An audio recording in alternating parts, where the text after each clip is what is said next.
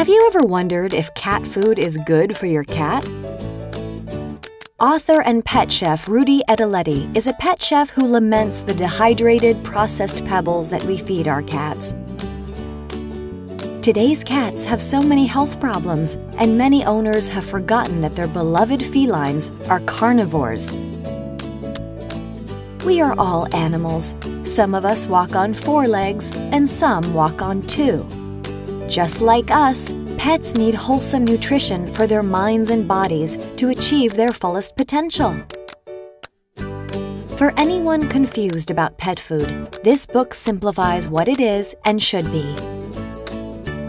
Unlock the mystery of feline nutrition with insight and easy recipes.